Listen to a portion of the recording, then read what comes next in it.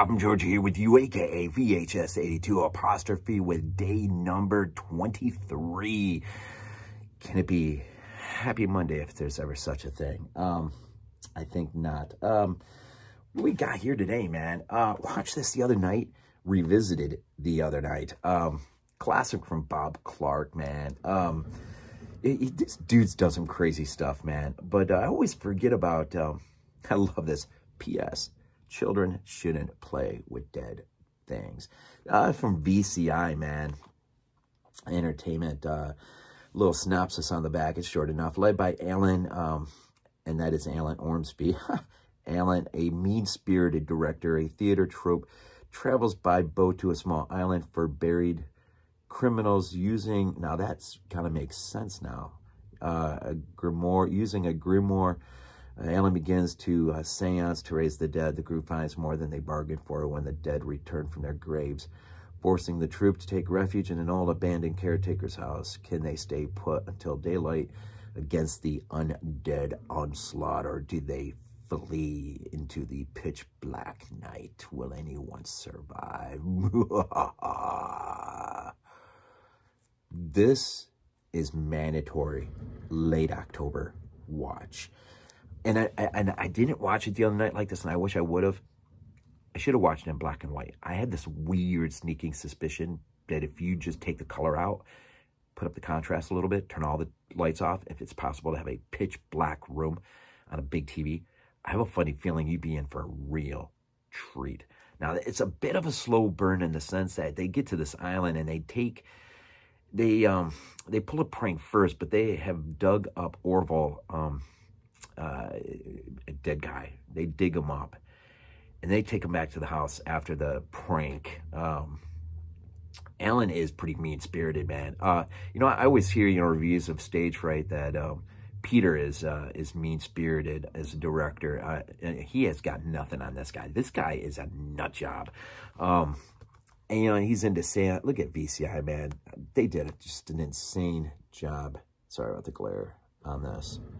Um, anyways, and so after the practical uh, joke or whatever, they take Orville back to the uh, the house, and they start doing all this crazy stuff, man. This uh, just this, wedding, pseudo wedding thing between Alan and the corpse, and just and there's this one girl, man. She just she just she just knows this is all wrong and this is not going to end well for any of them. And uh, and it does take a while. It feels like it takes a while. But when the incantation, the spell, whatever, it first affects the uh, the buried um, out there. Orville takes a while to wake up, but when he does, man, it is a oh man. Um, and so they, uh, so the dead start coming. Well, there's a couple guys part of the group that out there burying, uh, burying a corpse, I think. So when they come back to the, or they, they're out there digging and the dead start to come out. And so they flee back to the house. Well, one of them does.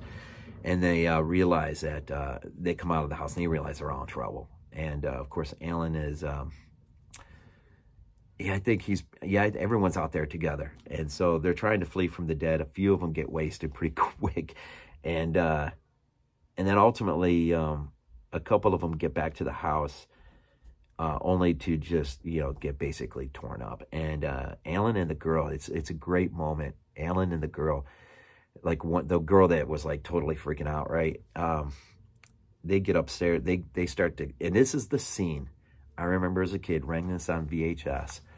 Um, this is a scene that blew me away as a kid. I like my mouth hit the floor and I'm like, what? They get up the stairs and he literally just pushes the girl into the arms of the zombies to try buy himself time. Uh, not having any idea that when he gets up top, Orville has wake has woken up. Um, and it's not the prettiest reunion. I mean, this movie is nuts, man. When you think about this and Black Christmas and uh, the other things Bob Clark has done, and it ends it ends with an ominous view of just um, you know you think as uh, Fulci's uh, zombies crossing the bridge right into New York City or uh, the, the, very end moment of um, Hell of the Living Dead um, and how that ends um, sort of this apocalyptic vibe going on right well this is a pretty morbid movie man and they, you know, maybe not everyone in, in the group, but man, Alan really does bring it on himself and the rest of them. And I don't know, man, this movie is creepy, creepy, creepy, creepy. And I don't watch it very often. It's just got this, it's like Black Christmas. It's a different vibe with Black Christmas, but this one is just, I don't know, it's got this really weird, like, I don't know if I've ever seen a movie quite like this that it just, I don't know, man. It just unsettles your stomach or something. It's just weird. But anyways, black and white, pitch black room. I don't think you, I think this could be a great, great experience. Um, maybe even pushed, uh, maybe a double feature with, um, uh, the, the Let Sleeping Corpses Lie, um, would be a great double feature. Watch them both in black and white. I think that would be great double feature. Some Grau and some Bob Clark. Anyways, on uh oh, real quick. Um so it runs uh so this is 1972. It runs one hour and 27 minutes, just so you know. And um Alan Ormsby is also responsible, I think, for some of the writing and the effects too. Um, the guy who plays Orville's pretty freaking good, man. Um, yeah, interesting, interesting, creepy little vibe, man. I, would say this and Let Sleeping Corpses Lie. Great double feature, man. Great double feature. We're getting there, man. We're getting there, as always, man. Go Bills. This is not a dream. Not a dream. We might be useful to